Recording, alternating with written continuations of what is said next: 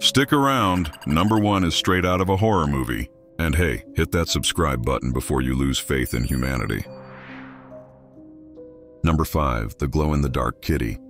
Scientists made cats glow using jellyfish DNA. Yep, because apparently, night vision wasn't weird enough.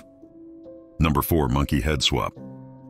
In the 1970s, a doctor literally stitched one monkey's head onto another's body. Both survived for a bit. Frankenstein would have been proud. Number 3. Space dog Laika. The first living being in space, and sadly the first not to come back. Rest in peace, Laika. Humanity owes you a treat. And an apology. Number 2. Zombie frog. They cut off a frog's head, then made its legs kick again with electricity. Congrats, science. You invented horror before Netflix did.